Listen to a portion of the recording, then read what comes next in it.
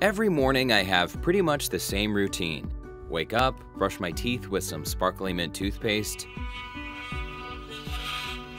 use an exfoliating wash on my face. It feels tingly and fresh, so I never took the time to notice many of the products I use are filled with plastic. That's right, plastic. For years, I've been washing tiny bits of hard, colorful plastic down the drain without even realizing it.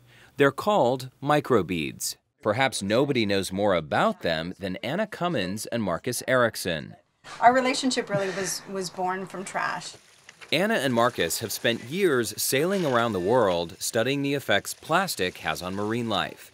Their Culver City garage is filled with all kinds of samples they've collected from their expeditions at sea. Here's just some of what they've pulled from our oceans.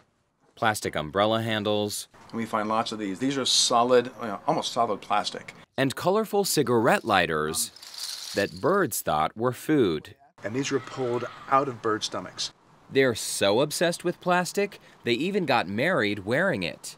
Their nonprofit Five Gyres is named after the five ocean spirals where large amounts of trash circulate. Now they're focused on what they believe could become a very large global issue caused by very small pieces of plastic found in products like the ones on my bathroom shelf. We've been looking at one category of microplastics that, that are microbeads, and these are the tiny beads that are put as exfoliants into a lot of personal care products. Products like facial scrubs, body washes, even toothpaste have microbeads, sparkly bits of tiny plastic. You won't see the word microbeads on the ingredients label, but you will see polyethylene. It's an unfamiliar word to many of us, yet it's the most common type of plastic in the world, used to make things like bottles, packaging, and trash bags. I looked at the ingredients on the facial scrub that I use. First ingredient, water. Second ingredient, polyethylene. There you go. So that's what you're looking for on the label? That's polyethylene. Polyethylene or polypropylene. How is it possible that microbeads would be the second ingredient in a product? There's a lot of beads. Hundreds of thousands of beads in one tube of your product. Hundreds of thousands of microbeads in a single tube? Anna showed us just how many microbeads were in a few squeezes of clean and clear facial scrub. Just dump the whole thing in, and this is what we have left behind. Oh, wow. That's what we're talking about. Wait, so that's all plastic? That is plastic.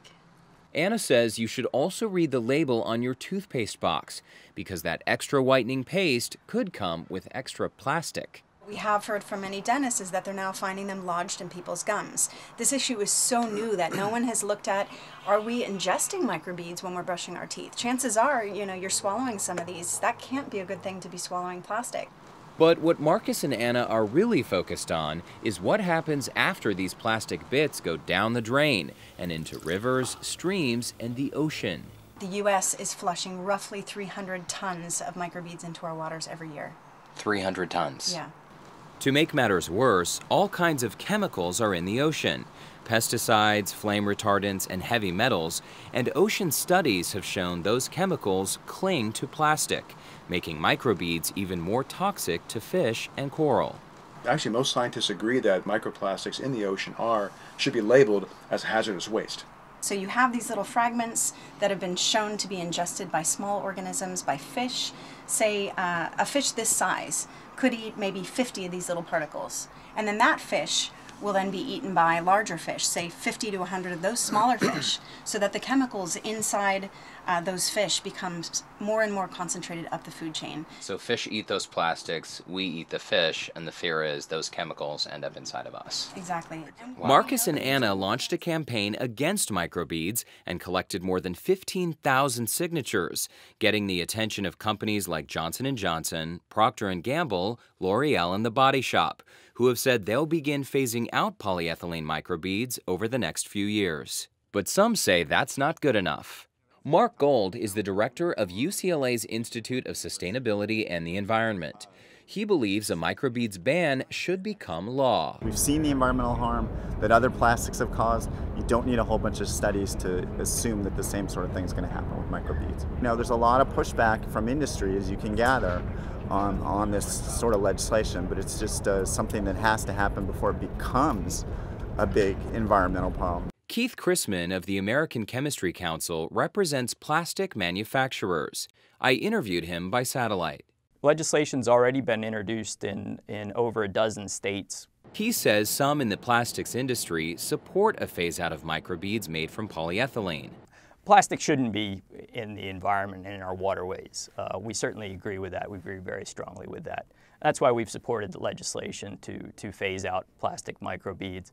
Would you support language in the bill that banned all kinds of plastic?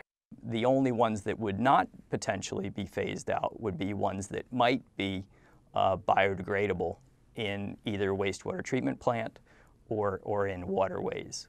Keith says in the future they may develop plastics that dissolve, but for the time being, no microbeads are biodegradable.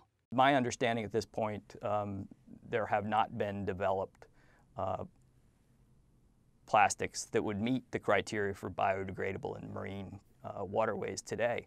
So I don't think that there's a, a, plastic microbead today that, that meets that criteria. Some environmentalists are concerned that if you phase out only one kind of plastic, that leaves the door open for other kinds of plastics to move in. There's an argument now, uh, the plastic industry wants to replace uh, microbeads made of polyethylene polypropylene with microbeads made out of uh, bioplastic, PLA which has all the same harmful effects in the ocean as, as polyethylene does. There shouldn't be any plastic microbeads, period. So it, be very, very careful of legislation that actually names the specific type of plastic that it's banning. Both sides agree microbeads can't be recycled and they aren't biodegradable. That leaves critics wondering why they exist at all. And that's really why we focused on this microbeads issue for the last for the last two years. But this is a clear example of a product that has no recovery plan. It's the most uh, egregious example of poor design. Mark says there are plenty of essential uses for plastic, but a few seconds of body scrubbing isn't one of them. Those microbeads was one of those inventions. Makes no sense whatsoever. There's anything like that that basically can stay in the marine environment for centuries um, doesn't really make sense when it has such a, a, a, short time frame for use. Let's focus on, on better products that don't get in the ocean in the first place. Until that happens, these products are still on store and bathroom shelves, and tiny bits of plastic are still washing down the drain and into the ocean. I'm Derrick Shore for SoCal Connected. To read more about water's tiny trash problem, go to socalconnected.org slash microbeads.